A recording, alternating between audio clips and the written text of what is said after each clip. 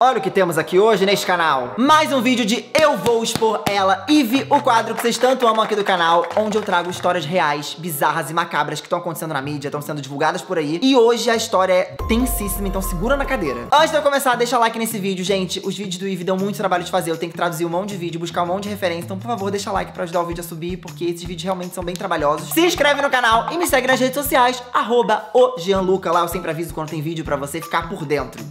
Pois bem, vamos começar essa história. Antes de eu começar essa história, eu preciso dizer da onde surgiu eu trazer essa história pra vocês. Ano passado, eu fui pra Los Angeles, para os Estados Unidos, quando não existia coronavírus, né? Porque agora não dá pra viajar pra lugar nenhum, nem aqui pro lado. E lá nos Estados Unidos a galera falava muito pra mim sobre Haunted House, que eu fui mais ou menos em outubro e novembro, e é época de Halloween. E Haunted House são aquelas casas mal assombradas, não são mal assombradas de verdade, são pessoas que criam um conceito de casa mal assombrada, tipo Hop Harry, que tem a casa do terror, aí são os atores fantasiados de espírito, fantasiados de exorcista. E aí as pessoas vão pra lá pra tomar sustos. E lá nos Estados Unidos tem muitas Haunted Houses, muitas, muitas casas desse estilo. Então você paga um valor, entra na casa, vive aquela experiência e sai tipo, ai, tomei vários sustos, uh, climão, galera, quase infartei, uma coisa meio assim. Só que essas haunted houses são controladas, são com atores, enfim. Agora eu vou contar a história de eu quase ter ido pra essa haunted house que eu vou contar agora a história pra vocês e a polêmica que isso tá dando. Tem um monte de youtuber fazendo vídeo disso, não tem vídeo brasileiro, eu acho, se não me engano tem um vídeo. Enfim, eu vou colocar na descrição se eu achar algum outro vídeo e eu vou explicar pra vocês o conceito dessa casa e como esse cara ficou famoso, se tornou um youtuber bizarro e, enfim, explorou a audiência e tudo que aconteceu. Então o nosso protagonista do Eve de hoje é Russ McCamey. Aí vocês perguntam, Jean, quem é Russ McCamey? Parecia um americano comum, tá? Um cara mais velho,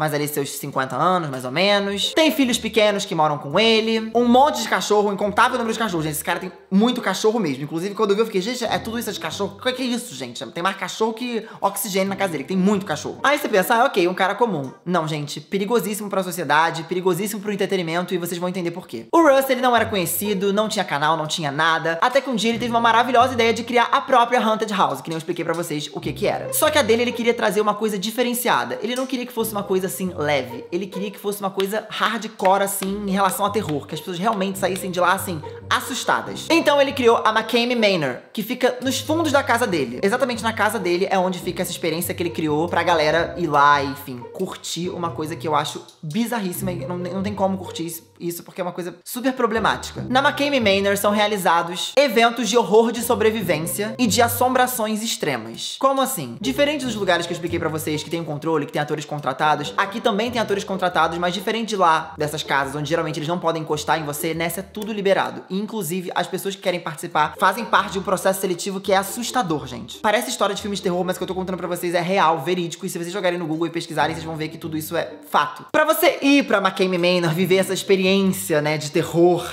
é, profunda, que eu não entendo porquê, você precisa se inscrever. E o processo de seleção ele não é tão simples, porque tem mais de 30 mil pessoas na fila de espera pra entrar na McCain Manor e viver esse dia aí louco de terror. Como eu expliquei, o negócio lá ele é super interativo, então você realmente se sente dentro de um filme de terror. É como se você fosse um, uma vítima de um filme de terror, só que vivendo aquelas experiências bizarras. Os atores interagem com você de uma maneira super violenta. Get him up.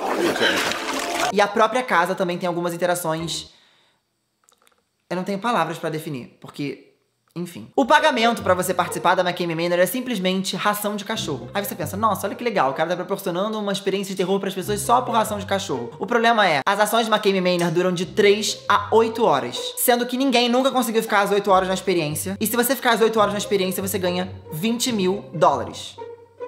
Parece, né? Ó, uma vibe Big Brother. Você vai, uma vibe no limite, você vai, vive experiências loucas e ganha um dinheiro no final. Olha que incrível, Jean. Por que, que você tá falando mal disso? Por que as pessoas estão falando mal disso? O problema é o quão tóxico psicologicamente isso pode ser e o que, que já aconteceu com algumas pessoas de lá. Pra você ter uma ideia, quando você chega na McKinney Manor, você precisa assinar um contrato de mais de 40 páginas com algumas cláusulas bizarríssimas. O contrato tem umas cláusulas, gente, assustadoras. Como, por exemplo, você aceitar sair de lá com alguns ossos quebrados, luxações e até danos psicológicos irreversíveis. Isso tudo tá em contrato. Ou seja, você assina lá, ah, eu vou ver essa experiência, pode ser que eu saia daqui completamente traumatizado e nunca mais consiga dormir. Pode, mas diversão, galera. Isso é entretenimento, né? Entretenimento. Basicamente, as pessoas elas assinam um contrato para sofrerem abusos físicos e psicológicos em uma casa assombrada que eles chamam de entretenimento. O contrato tem uma cláusula, inclusive, que diz que pode ser que você morra e não é responsabilidade deles. Caso você tenha um ataque cardíaco passe por algum problema, não é responsabilidade deles. É responsabilidade sua. Você que quis ir lá. E como eu expliquei, o contrato da tour dura de 3 a 8 horas, sendo que você não pode sair nas primeiras 3 horas, mesmo que você implore. Então, se você não estiver curtindo e você quiser sair, você não pode, porque você assinou um contrato e eles vão ficar ali fazendo o que eles quiserem com você, te dando chute, te dando tapa na cara, fazendo literalmente o que eles quiserem. I'm ready to go. I can't do this anymore. Wait. That's an automatic out. You know that, right? Oh, is it? Não é possível que até agora você acha que isso já tá normal. Mas se você ainda acha que tá normal, calma, porque piora, tá? O nível de loucura. E por lá, gente, as ações de terror, elas vão desde você se alimentar de coisas que você não quer se alimentar, comer qualquer coisa que eles te obrigarem, até jogar qualquer tipo de líquido na sua cara, ou te afogar, te dar choque, arrancar seu cabelo, enfim.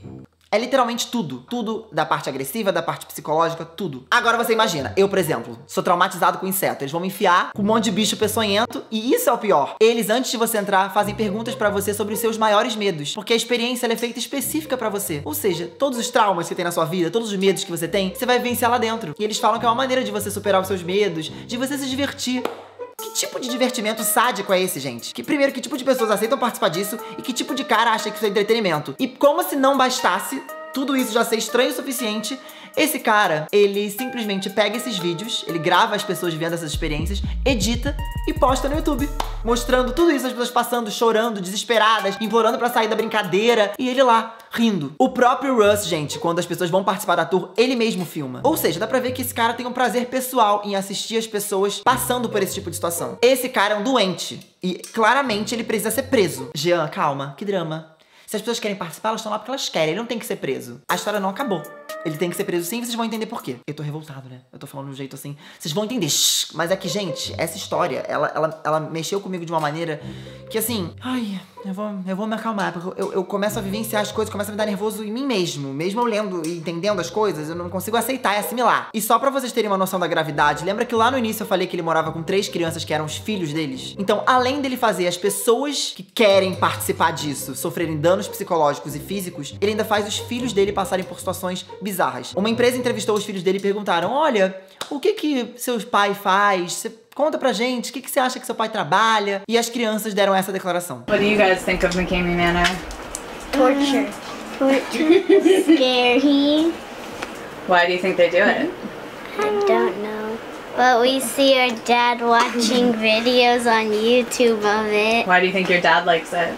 Because he likes he likes to be tortured. And he likes being tortured. As próprias crianças falaram que o pai tortura pessoas e gosta de torturar pessoas. Você imagina como tá a cabeça dessas crianças? Vários youtubers gringos começaram a fazer vídeos sobre isso, por isso que eu também tô trazendo, pra poder fazer esse tipo de denúncia e também pra contar o resto da história, porque depois que começou, várias, várias pessoas começaram a fazer vídeo disso, a ex-mulher dele apareceu. A Holly Chilitou, Chilitou, Chilitou, não sei, acho que é Chilitou, enviou uma mensagem de voz pra uma dessas youtubers que fizeram um vídeo denunciando ele. Inclusive o link vai estar aqui embaixo no vídeo pra você, se você quiser escutar o áudio, enfim, mas eu vou explicar. No áudio ela faz alegações bem sérias, falando que o Russ, ele era um cara muito violento e que além disso ele possuía material com menores de uma maneira imprópria, se é que vocês me entendem. Ele tinha material de crianças no computador dele. Esse tipo de material que você tá pensando mesmo. E uma coisa que vale ressaltar também é que os próprios participantes, algumas pessoas que aceitaram participar do McCamey Manor, fizeram denúncias também, falando que, enfim, pagam tratamento psicológico até hoje, que infelizmente elas não têm muito o que fazer porque elas assinaram esse termo, né, de responsabilidade. Só que, gente, você brincar com o medo das pessoas e com a saúde mental das pessoas e com o físico das pessoas, com a agressão física, isso não é entretenimento. Isso é doença. Isso é problema. E aí depois todo mundo tava jogando no ventilador, atores que participaram da experiência e pediram pra sair, enfim, que não estavam curtindo trabalhar com isso, começaram a dar algumas declarações em redes sociais e até na Deep Web, desses atores falando que as pessoas que aceitavam participar, elas inclusive eram injetadas drogas alucinógenas nelas pra participarem das experiências. Então, além delas estarem sendo espancadas, sofrendo abuso psicológico, elas ainda estavam sendo drogadas nessa experiência. Então, independente delas terem assinado qualquer tipo de contrato, eu acho que cai por terra e agora todo mundo pode entrar com ação e qualquer coisa contra esse cara, porque ele drogava as pessoas. Uma super investigação tá sendo feita nos Estados Unidos em relação ao Russ McCain e a McCain Manor de uma maneira geral. E se você quiser assinar uma petição pra que a McCain Manor acabe, denunciar esse tipo de coisa que acontece, eu vou colocar o link aqui embaixo, porque vários youtubers estão denunciando a McCain Manor, porque realmente é uma experiência absurda. Eu não sei a opinião de vocês, eu tô dando a minha. Eu acho que essas pessoas que aceitam participar disso, talvez elas tenham alguns tipos de problema psicológico que a gente não sabe. Esse cara, claramente, ele tem algum tipo de problema psicológico, de acordo com tudo isso que, que tá rolando e estão comentando sobre ele com provas. Então o negócio tá bem pesado. Pra mim, isso tudo é um completo de serviço. É podre o que esse cara tá fazendo. Mas eu quero saber a opinião de vocês também. Você participaria da McCain Manor? Você acha que o que esse cara faz é bizarro? Você acha que o problema é das pessoas que aceitaram